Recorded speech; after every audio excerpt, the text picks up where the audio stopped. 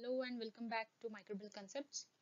Today we are going to discuss about types of beta lactamase or classification for beta lactamase. Okay, the enzyme which is uh, nowadays highly discussed and lot of research is going on because we are dealing with a global issue that is drug resistance correct so the enzyme that is beta lactamase is mostly observed in drug resistant bacteria okay the beta lactamases are the primary cause of bacterial resistance to beta lactam antibiotics okay?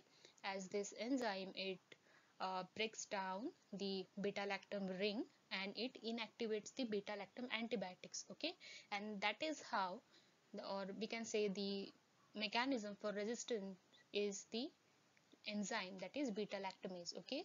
So bacteria are gaining these resistance and now it is a global issue like how to deal with this drug resistant bacteria how to treat with the how to treat these infections with the present antibiotics okay? So we are going to discuss some types here okay the classification. The most widely used classification for beta lactamases is the Ambler classification that divides beta lactamase into four classes that is A, B, C and D okay based upon their amino acid sequence correct?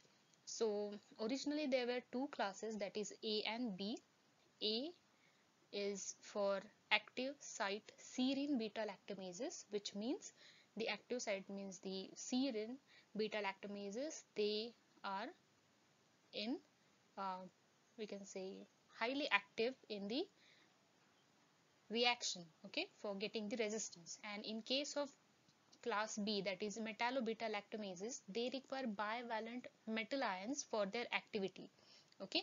So that is usually Zn2 plus is used. Okay? So later a new class of serine beta lactamases was found that bore little sequence similarity to the then known class A enzymes. Okay? So there was a little sequence homology from class A.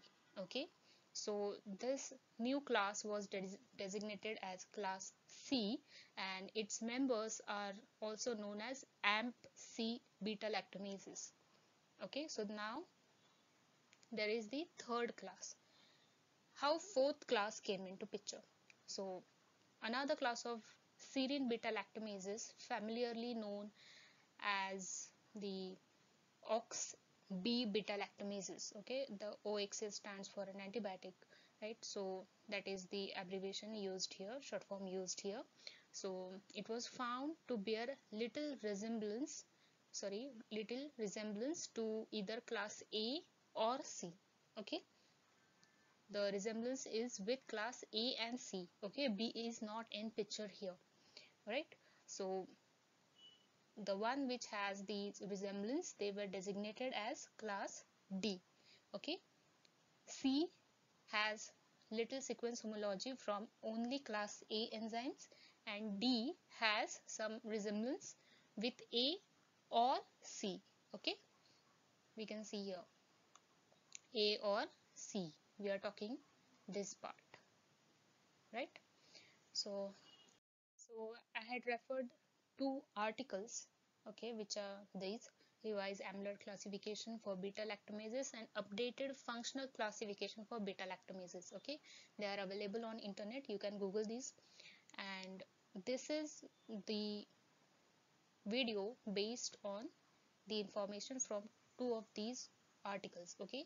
So all the copyrights are reserved to the authors here right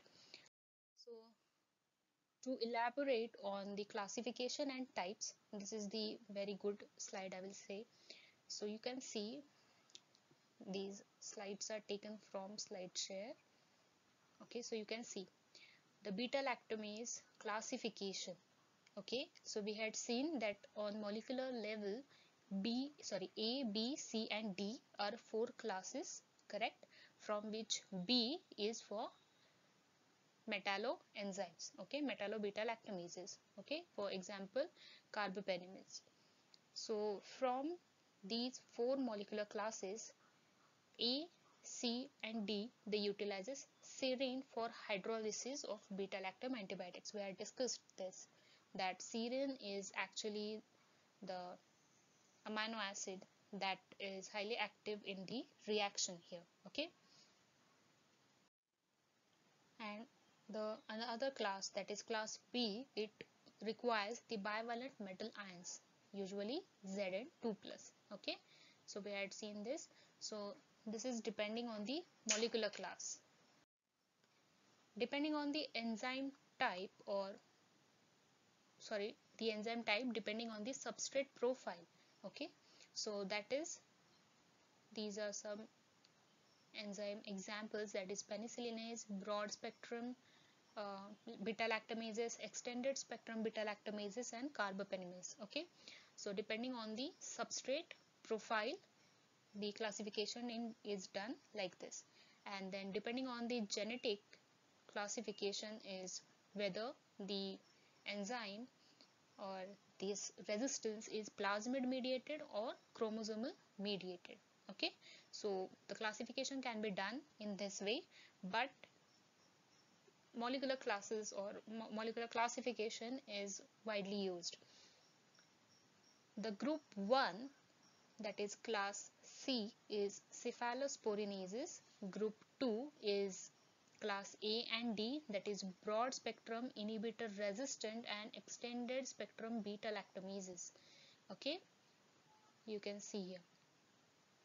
And serine carbapenemase this all comes in group 2 okay so there is another uh, classification which is based on substrate profile okay and enzyme activity so depending on that Further, you can classify these enzyme types in group 1, group 2 and group 3. So group 3 has metallo-beta lactamases.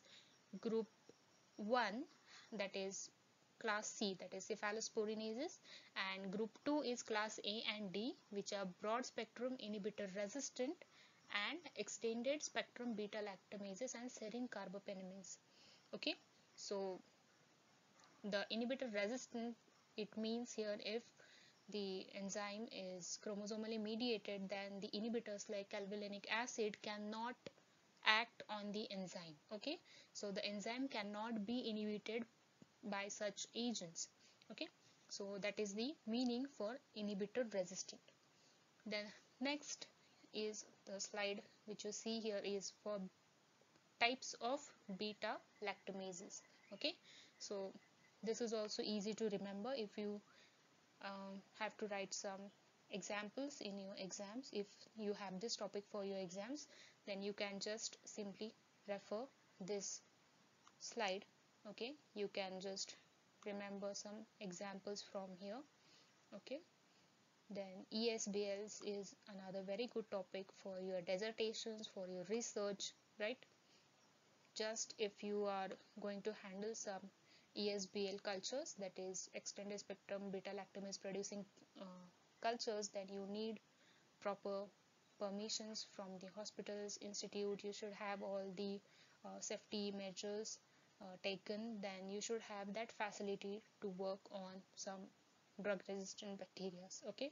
But apart from that if you're able to do all this then you can go further for research and studies on ESBLs okay? Because that is the current global issue we are facing right?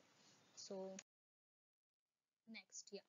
So according to the Ambler classification in the article which I had referred you will get this flow chart okay a schematic diagram so beta lactamases they are classified as serine or metallo. Further, the classification is done as whether they have serine as their um, active hydrolysis um, ingredient or very active part or component in the reaction is serine then they are classified as class A, C and D. And if they required a metal ion for hydrolysis or for the reaction then they have further groups subclasses okay? So that we will study further. So in case of class B that is metallo-beta lactamases they are grouped separately. Why? Because they hydrolyze beta lactams through an enzymic process that is distinctly different from that of serine beta lactamases and they are structurally unrelated to the serine beta lactamases okay? The reaction is different and even they are different by structurally okay? They are unrelated. So the beta lactamases are not as closely related to each other okay as the current grouping reflects okay? The current grouping is we are talking about this okay? So they are not uh, closely related to each other. So within class b the enzymes they are alignable neither by dna or by protein sequences. So these differences are subdivided into three subgroups that is b1 b2 and b3 okay? So there are some differences that you cannot align either by dna or protein sequences but there are some sequences uh, sorry there are some differences okay in the sequence and therefore the class b is further differentiated into subgroup b1 b2 and b3 the members of subgroup b1 and b2 they share a significant similarity in sequence okay and that they are legitimate sequence legitimate sequence based homologous but they are insufficient they share insufficient similarity with the members of subgroup b3 okay to be legitimate legitimate sequence homologous of the subgroup b3 okay. So you can see as class subclass b1 and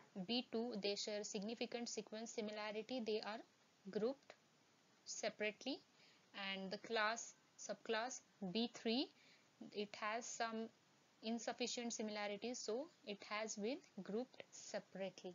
Okay? So under class b the grouping or classification is further done likewise. So the last part of today's video that is ESBL termed as extended spectrum beta lactamases. Why? Because now this type of enzyme which has been acquired from class A beta lactamases they can act on more antibiotic class classes okay? Beta lactams they had extended their spectrum they had widened their range for uh, inactivating some more antibiotics okay? In simple words we can say that. So that they hydrolyze and confer resistance to oxyamino second and th third generation cephalosporins okay example is like cefuroxime cefotaxime uh, cefotaxime etc so these esbls are often located on plasmids that are transferable from strain to strain and between bacterial species as well ESBLs are enzymes capable of hydrolyzing penicillins, broad-spectrum cephalosporins, monobactams and are generally derived from TEM and SHV type enzymes. So depending on amino acid uh, amino acid position okay? So there are even types under shv enzyme that is shv1 shv4 and 6 and further on. So as esbls are plasmid mediated they can be inhibited by clavulanic acid okay? So how you can determine this? So you need enzyme profiling done or culture profiling done first okay? Whether the culture which is producing beta lactamases is antibiotic susceptible or not. If it is susceptible then to which antibiotics? And if it is resistant to if it is resistant then to which antibiotics? Okay so you need to have that antibiotic profiling done first. And after that you can just do double disc synergy test okay? Whether uh, where you can see the combination of antibiotic with clavulanic acid is working best or not okay? So that is how detection and diagnosis treatment it all works okay in case of beta lactamases so these enzymes are more important clinically as these can be transferred between various species of enterobacteriaceae family okay? So that is why esbls or simply beta lactamases are now widely studied okay so the beta lactamase detection can be done on antibiotic susceptibility testing okay? Simply to start with. So you will know to which class it is resistant which class it is uh, sensitive or susceptible okay? You can get your results done with antibiotic testing or e-test and then you can go for double disc synergy test for deciding the combination which can work best on your resistant culture okay? So this was about classification.